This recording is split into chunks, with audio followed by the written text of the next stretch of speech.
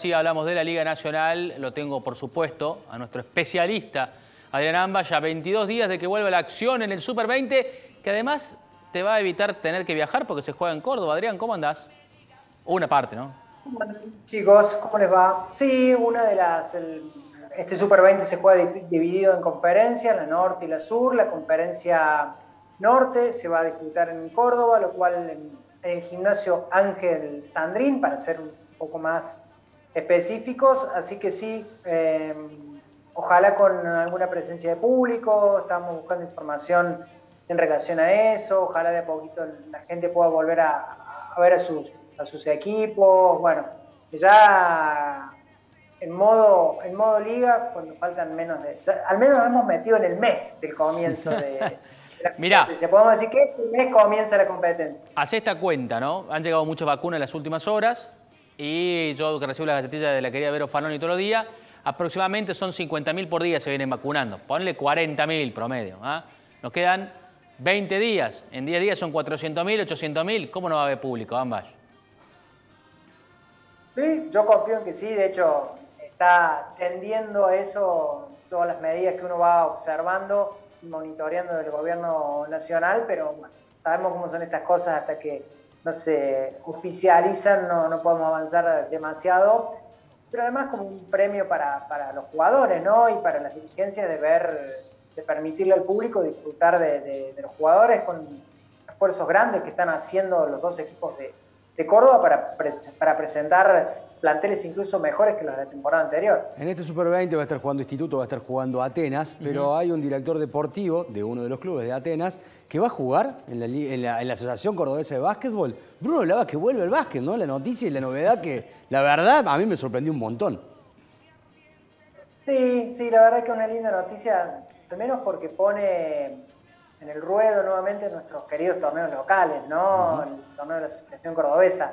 Bruno va a jugar en Maccabi Noar, eh, uno de los equipos tradicionales de, básquet del asociativo, eh, que también suma Lucas Saúl, un jugador de Atenas y un jugador de la casa histórico, Lucas surgido de ahí de, de Maccabi, además, bueno, Ale Jankilevich, Lucas Kaplinski, lindo, lindo equipo está hablando Armando Maccabi, obviamente que que la frutilla del postre o lo que motiva que nosotros estemos hablando de esto es lo de Bruno.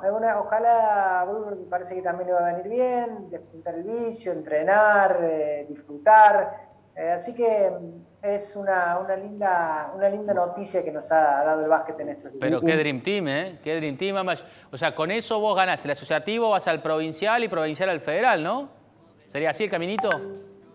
Sí, sí me parece que no, no es no, no, no creo que sea el, plan eh, de, Maccabi, es un club, un club eh, que no tiene una apetencia competitiva eh, más allá de, la que tiene y que sea un lugar para que los propios jugadores surgidos en el club puedan competir. Y está bien, me parece que a veces no, no tiene nada de malo ser realistas con, los objetivos para cada institución. No todas las instituciones están, están para jugar eso. De todos modos, otro día lo podemos charlar y es más, podemos hacer un informe. Eh, Maccabi Noar, uno de los técnicos, Rubén Mañano fue técnico de, Maccabi Noar.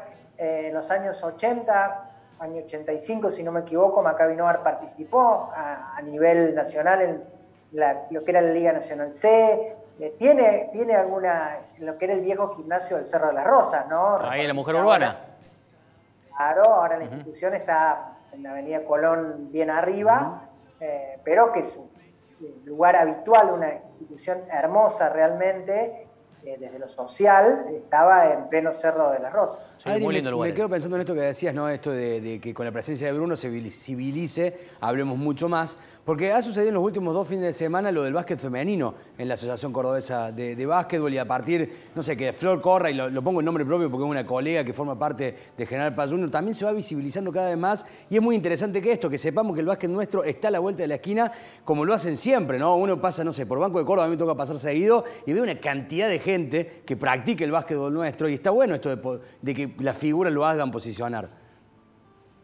No, ni hablar. Cada uno seguramente si se pone a pensar tiene un club cerca. un Club en el caso de mi caso a 4 o 5 cuadras, General Paz Junior a, 10 cuadras, otros un poquito más chiquitos, el Seibo.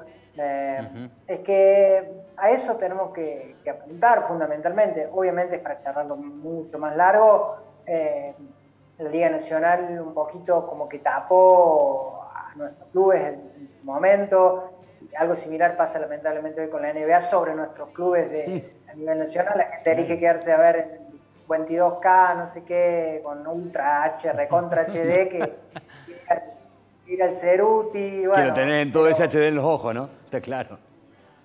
Pero sí, evidentemente, nuestros clubes son la base en todas las disciplinas. No, quedó demostrado en los Juegos Olímpicos, Adrián. Quedó demostrado en los Juegos Olímpicos el, club. Los clubes eh, que evidentemente, de hecho, los deportes que nos dieron medalla, lo hablamos con Diego, ¿no? El rugby, el hockey y se me escapa la del vóley. Son tres deportes muy de clubes, ¿no? Muy de clubes, no, no, no hay mucho ahí de, otra historia que no sean clubes. Así que la verdad que ha quedado muy demostrado la función de los clubes, sobre todo en estos últimos Juegos Olímpicos. ¿eh?